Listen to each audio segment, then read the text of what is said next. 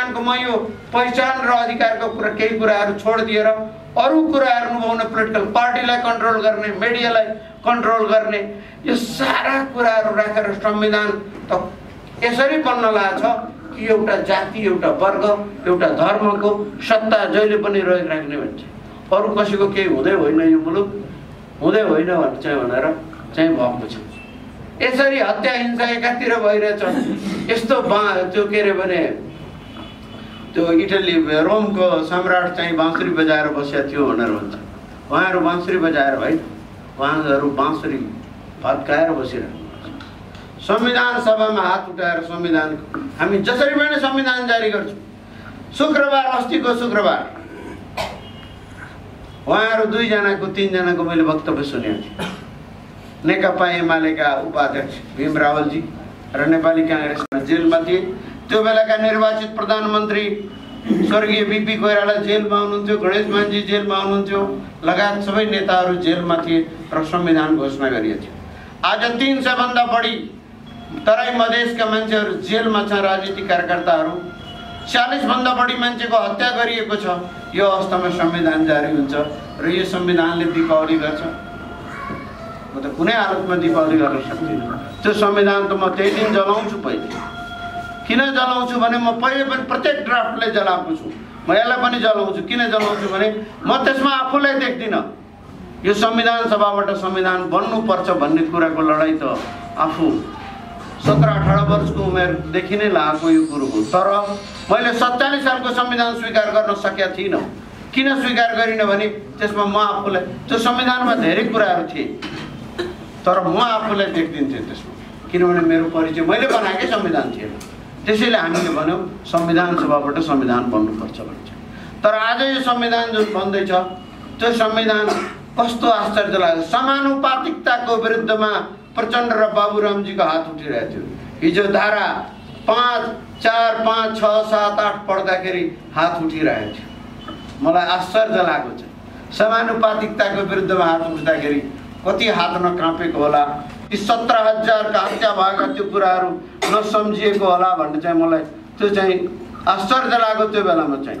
राम माननीय रामकुमार राईजीले प्रस्ताव प्रस्तुत गर्नुभएको थियो र त्यो प्रस्तावमा भोटिङ हुँदाखेरि जम्मा चारवटा हात उठेका थिए। समर्थन। अर्थात् लोकतन्त्रका सबैभन्दा महत्त्वपूर्ण पक्षहरूलाई यो संविधानले समानुपातिकता नस्वीकार्ने समावेशिता खत्तम पारिएको छ संविधान छँदै छैन यसमा संविधानमा। समावेशीमा युवा मजदुर किसान के के भन्छ एउटा। अहिले जुन लोकसभा लगायतका जुन समावेशी कुराहरू छन् यो अब संविधान जारी हुने बित्तिकै सबै समाप्त हुन्छ। अब यो रहनै सक्दैन। अर्थात् संविधान यस्तो संविधान बनाउन गइएको छ कि एउटा जातिले एउटा वर्गले एउटा निश्चित जो सत्तामा कायम रहेको जुन वर्ग छ त्यो वर्गले चाहिँ र एउटा कुरा बुझ्नु होला यो के भन्यो भने जन्मजातै बन्नुपर्छ होइन। आफ्नो वर्ग र उसमा चाहिँ त्यो समुदायमा मिसिन सक्नुपर्छ मान्छे मिसिहाल्दो रहेछ। प्रचण्डजी त्यत्रो क्रान्तिकारी हुनुहुन्थ्यो आफ्नो ठाउँमै पुग्नु भएको छ। बाबुरामजी हिजो अस्ति पनि क्रान्तिकारी कुरा बोलिराख्नु भएको छ आफ्नो ठाउँमै पुग्नु भएको छ। सात आठजना एउटा जातिका मान्छे बस्ने र संविधान लेख्ने र त्यसलाई के भन्ने भने यो डेमोक्रेटिक कन्स्टिट्युसन हो भनेर भन्ने हामीलाई डेमोक्रेटिक यदि यस्तै संविधान बन्ने थियो भने भारतको संविधान तिन महिना पनि लाग्दैन थियो बन्नलाई। त्यहाँ पचासी प्रतिशत कङ्ग्रेस पार्टीका मान्छेहरू थिए। यति ठुलो विवाद पनि थिएन। त्यहाँ तिन वर्ष उन्नाइस सय छ्यालिसदेखि भारत स्वतन्त्र हुनुभन्दा अगाडि भारतको संविधान सभा गठन भएको थियो। उन्नाइस सय छ्यालिसमै गठन भएको थियो। उन्नाइस सय छ्यालिसदेखि उन्नाइस सय पचास तिन वर्ष किन लागेको थियो त्यो संविधान सभामा? प्रत्येक विषय वस्तुमा गहनतम छलफल भएको थियो भनेपछि उहाँहरूले त हिजो अस्ति बनाइदिए भए हुन्थ्यो नि छलफलको कुनै छलफल नगरिकन सात आठजना कोठामा बस्ने होटलमा जाने बस्ने अनि संविधान लेखिदिने यो संविधान डेमोक्रेटिक हो रिप्रेजेन्टेटिभ कन्स्टिट्युसन हो भन्छ आफ्ना सदस्य संविधान सभाका सदस्यहरूलाई खबरदार यताउति गरिस् भनेर यसरी डन्डा देखाएर त्यो राजा महेन्द्रले जसरी संविधान यो त हिटलर जन्माउने संविधान बन्दैछ यो नेपालको। त्यसैले यो संविधानलाई स्वीकार गर्ने स्थिति छैन। यो संविधान नेपाली जनताको संविधान हुनै सक्दैन। म आजै तपाईँहरूको अगाडि भन्छु म व्यक्तिगत रूपमा र हाम्रो समुदायलाई स्वीकार गर्न सक्दैन। त्यसैले हामी अर्को संविधान सभा खोज्नुपर्छ। जसरी तिस वर्षसम्म नेपाली काङ्ग्रेस र कम्युनिस्ट पार्टीले राजाहरूसँग लड्दै गएर उन्नाइस सय नब्बेमा आएर साठीदेखि नब्बेमा आएर त्यो चाहिँ बौद्धरिक व्यवस्था सायद मलाई त्यति लामो लाग्दैन होला। यो लडाइँ त्यसरी लड्नुपर्छ र यो संविधानलाई लागू गर्न दिनु हुँदैन भन्ने चाहिँ किनभने यसले नेपाली जनताको हित गर्नै सक्दैन। पहिले निर्धारण गर्ने यो गर्ने आज राष्ट्रपति फलाउनलाई बनाउने उसलाई सत्ताको लागि संविधान लेखिन्छ भाइ। संविधान लेखिसकेपछि सत्ताको निर्धारण हुन्छ दुनियाँमा। डेमोक्रेटिकली इलेक्टेड गभर्मेन्टहरूले त्यो गर्ने हो तर डेमोक्रेटिक प्र्याक्टिस खै? संविधान सभा खै अहिले सुनिराख्नु भएको छ तपाईँहरू एउटा धारामा कुनै डिस्कसन भएको? एकजना सभासदले तिन सय दुई धारामा पाँच मिनटमा सबै सिधाइदिँदो रहेछ। यी सबै कालिदासका नाति कहाँबाट भए? दुनियाँमा एकजना कालिदास कुनै बेला भएका थिए अरे। उनलाई मात्र ज्ञान थियो कि त्यो पाना पल्टाउँदै गर्दाखेरि उहाँले चाहिँ त्यो सबै ग्रहण गर्नुहुन्थ्यो। तिन सय दुई पेज पाना पल्टाउन पनि कमसेकम दस मिनट लाग्छ मलाई लाग्छ। यसरी पल्टाउनु पऱ्यो नि त्यो जम्मै चाहिँ। त्यत्रो मोटो किताब पल्टाउनलाई त्यत्रो दस पन्ध्र मिनट चाहियो। त्यस्तो संविधानको डिस्कसन सात मिनट पाँच मिनट तिन मिनट दुई मिनटमा हुँदो रहेछ। यो कहीँ पनि भएको दुनियाँमा कहीँ पनि त्यस्तो संविधान। त्यसैले यसको प्रोसेस पनि अनडेमोक्रेटिक छ। यसको इन्टेन्सन पनि अनडेमोक्रेटिक छ र यसले ल्याउने रिजल्ट पनि अनडेमोक्रेटिक र यसले चाहिँ हिटलर जस्तै तानासा जन्माउँछ।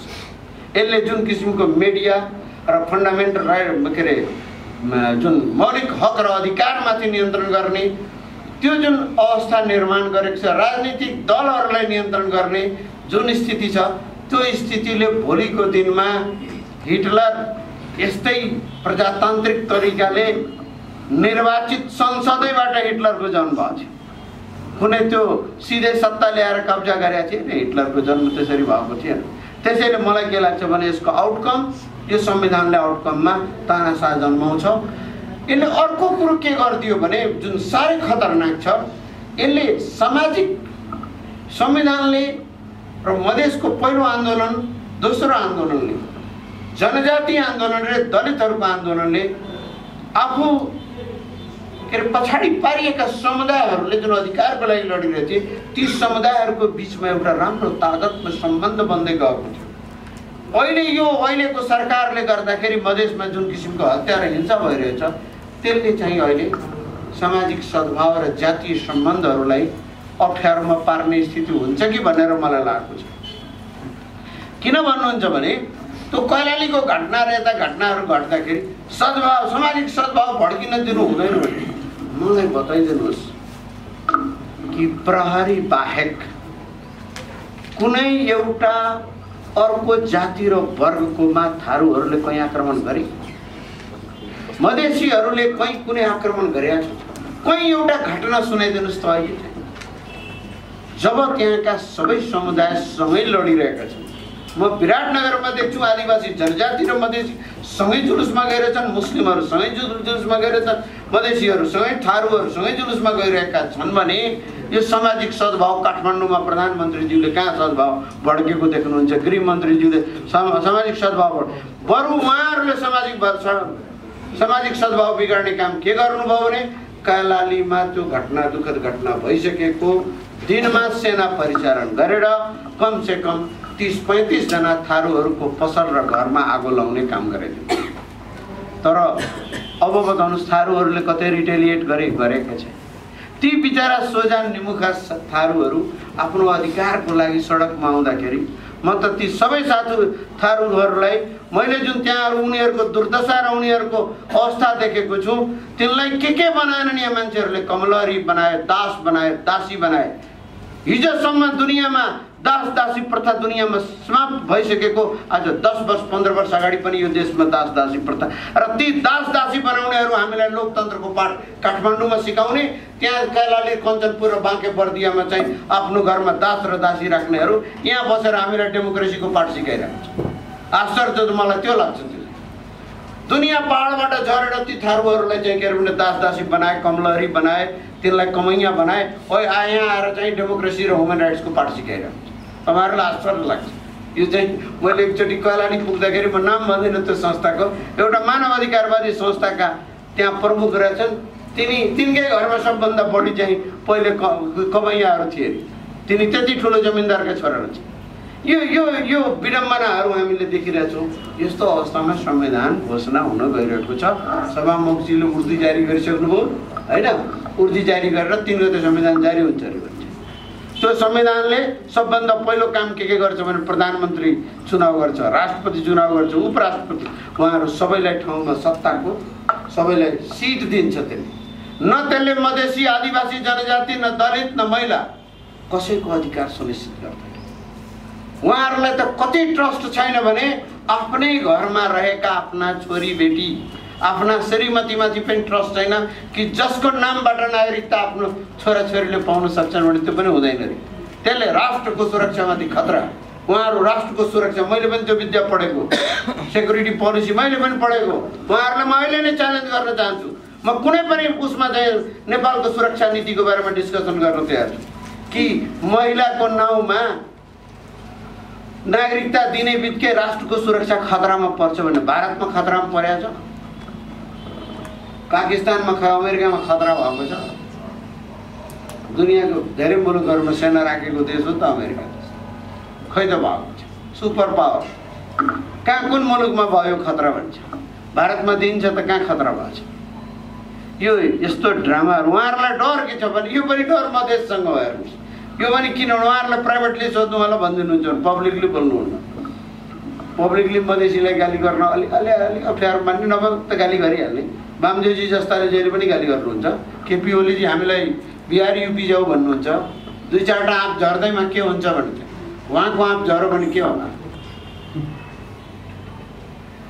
मेरो भाइ र मेरो बाउ मर्दाखेरि आँप झरे जस्तो भयो। उहाँलाई कसैले गोली हानिदियो भने के होला? त्यो आँप झरेको हुन्छ कि हुँदैन? यस्ता बोल्ने पनि हुनुहुन्छ। त्यो किन नदिएको नागरिकता भने महिलाहरूको नाउँमा भने हाम्रा छोरीबेटी जुन बिहा गरेर उता गएका छन् ती सबै दौडेर नेपालमा आइहाल्छन् ए प्रभु यस्तो ड्रामा यस्तो कुराहरू गर्नु हुँदैन। यसले चाहिँ नेपाल मुलुकलाई राम्रो बनाउनै सक्दैन। मुलुकलाई राम्रो बनाउनका लागि सबभन्दा पहिले कुरो चाहिँ के हो भने आपसी प्रेमका सूत्रहरू कहाँ टुटेका छन्? ती धागाहरूलाई कसरी जोड्न सकिन्छ? कुन जाति र कुन समुदायलाई पछाडि पार्यो हिजोको दिनमा? तिनलाई कसरी अगाडि ल्याउन सकिन्छ? तिनका रिसोर्सेसहरू तिनका पहिचानका कुराहरूले मुलुकलाई कसरी स्ट्रेन्थ बनाउन सक्छ भन्ने नसोचेर आफ्नै मुलुकका तिस बत्तिस प्रतिशत जनसङ्ख्या चाहिँ हाम्रो सुरक्षाका लागि थ्रेट देख्ने नेताहरूले नेपाललाई राम्रो बनाउँछन्। के बनायो नेपालमा दुई सय पचास वर्षमा? मलाई एउटै केही बताइदिनुहोस् कि यो देशको मुलुकमा केही राम्रो भएको केही एउटा देखाइदिनुहोस्। राम्रो भने त्यही हाम्रो प्रहरीले सिकाए टाउकोमा गोली हान्थ्यो भन्छ त्यो अहिले एकजना मित्रले भन्दै हुनुहुन्छ। काठमाडौँमा पानीको पोहरा पार्ने र जलेश्वरमा गोली हान्ने भने हिजो पनि म त्यहीँ थिएँ। हिजो म बानेश्वरमै थिएँ। अस्ति पनि मैले देखेको थिएँ। त्यहाँ चाहिँ शनिबार त्यहाँ चाहिँ हिन्दूवादीहरूलाई त्यहाँ हिन्दूवादीहरूले चोरी खेलेर त्यहाँ चाहिँ त्यहाँ पुलिसले के गर्यो भन्छ त्यहाँ लाठीचार्जमा कुरो सिद्धि त्यही कुरो गौरमा किन हुँदैन? जलेश्वरमा किन हुँदैन वीरगञ्ज कलैया विराटनगर र तपाईँको राजविराज र त्यो के अरे भारतमा किन हुँदैन यो त्यही त ब्रेक गर्न जान्छन् मान्छे निषेधित त त्यो हुँदैन किनभने मैले अघि नै भने यो विजित सेनाले आफूलाई ओकुपेसनल फोर्स हुन्छ कोलोनियल फोर्सको रूपमा मैले नेपाली सेना र नेपाल प्रहरीलाई अहिले देख्दैछु तराईमा गएर जुन किसिमका ताण्डव नृत्यहरू भइरहेको छ र हुँदै गए जान्छ अहिले पनि भइरहेको त्यो अवस्थाले भोलि नेपालमा ती मधेसका भूभागहरू यो मेरो हातमा रहन सक्दैन। यो उपेन्द्र यादवजीको हातमा पनि रहन सक्दैन। यो महन्त ठाकुरजीको हातमा पनि रहन सक्दैन। भर्खर हिजो छाडी अस्ति म र दमन दाई महन्त ठाकुरजीलाई भेट्न पुगेको थियौँ। उहाँ त्यो दुई तिन हजार मान्छे उता गएर बस्यो भनेर झन्डै रुनु भएको थियो। सोध्नुहोस् उहाँ दाई हुनुहुन्छ।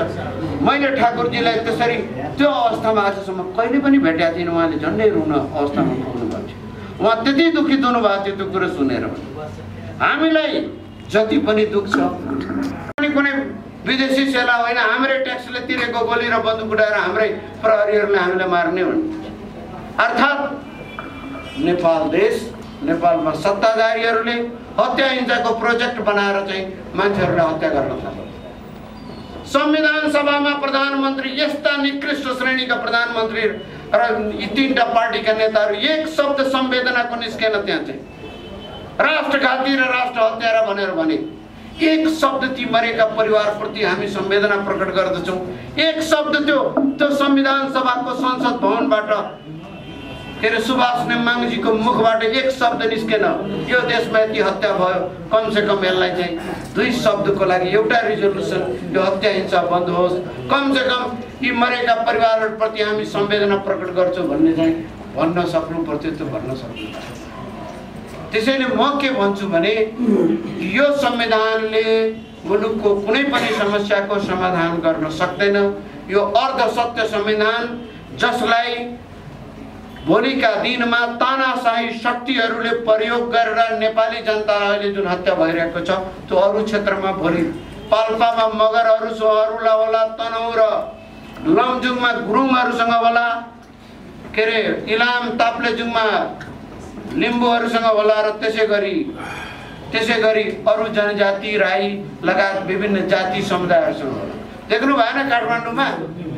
तलवार भए तलवार लिएर जुलुस निकाल्दाखेरि तिनलाई चाहिँ स्वागत गर्ने प्रहरी र दलितहरूले जुलुस निकाल्दाखेरि तिनलाई कुट्ने डन्डा हाल्ने सभासदहरूलाई पनि पिट्ने कुट्ने भनेर यो अचम्मको विद्या र यो कामले प्रधानमन्त्री यो काममा लाग्नु भएको छ। नेकपा एमालेका शीर्षस्थ नेताहरू अहिले हाम्रो के अरे भने नेकपा माओवादीका नेताहरू पनि यो काममा लाग्नुभयो अर्थात् यो मुलुकलाई उहाँहरूले सामाजिक रूपमा पूर्ण रूपमा विभाजनतिर लगिराख्नु भएको छ। त्यसैले हामी जनताहरूमा यो दायित्व के आयो भने यो कुराहरू रोक्नका लागि प्रयत्न गर्नु पऱ्यो नागरिकहरू काठमाडौँलाई दुख्नु पऱ्यो वीरगन्जमा मान्छे मर्दाखेरि।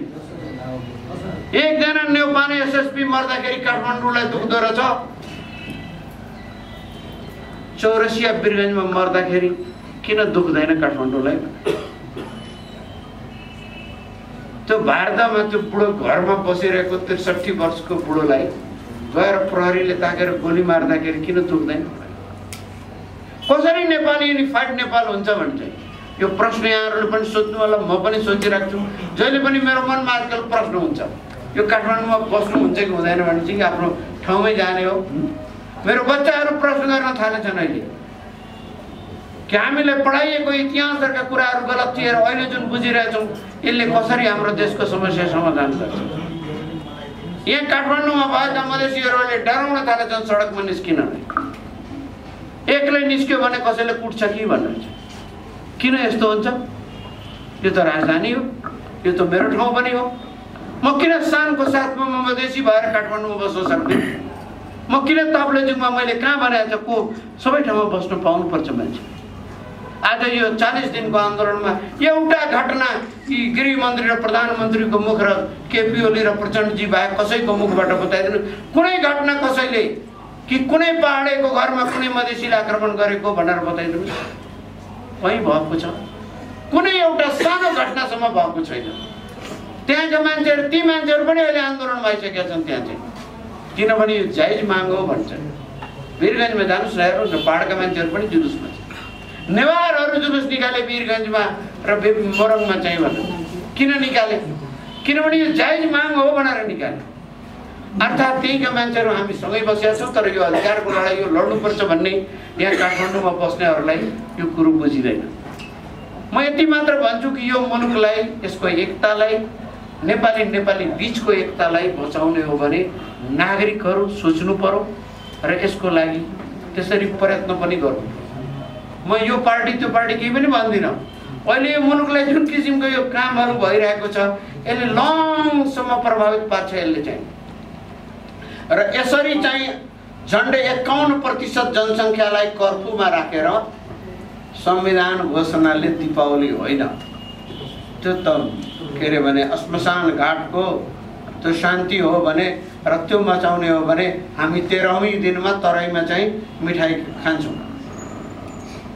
त्यो गर्ने हो भने म त त्यही तेह्रौँ भइरह्यो भनेर लागिरहेछ मलाई त्यो संविधान। र यो संविधान त्यसरी नै घाटमा जलाइन्छ तराईको कुनै भागमा यो संविधान रहन सक्दैन। तर त्यो संविधान जलाइराख्दाखेरि अर्को कुरो पनि जलिरहेको हुन्छ। देशको एकता पनि जल्छ भन्ने कुरो पनि बुझ्नु। किनभने अहिले मधेसका मान्छेहरूले म एकदम तपाईँहरूलाई भन्छु हामी मैले दिनमा पचासौँ सैकडौँ कल रिसिभ गर्छु। तपाईँहरू यो कुरो किन बोल्नुहुन्न कि अब हामी स्वतन्त्र मधेस हुनुपर्छ भनेर चाहिँ किन बोल्नुहुन्न? तपाईँहरू आउनुहोस् तब तराईमा हामीले जाने छ भनेर। तपाईँहरू हामीलाई उचाल्ने भनेर भन्छ। त्यसैले म के भन्छु भने यो कुरालाई रोकौँ।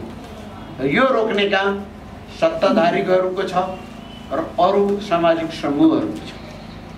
त्यसैले म यति भन्दै यहाँहरूसँग बिदा लिन्छु। धन्यवाद। धन्यवाद। पूर्व राजदूत विजयकान्त कर्णज्यूलाई। आजका प्रमुख अतिथि प्रमुख वक्ता पूर्व सभामुख श्री दमननाथ ढुङ्गाज्यूलाई अ, प्रमुख अतिथिको आतिथ्यता ग्रहण गरिदिनु हुनको लागि म हार्दिक अनुरोध गर्दछु। छ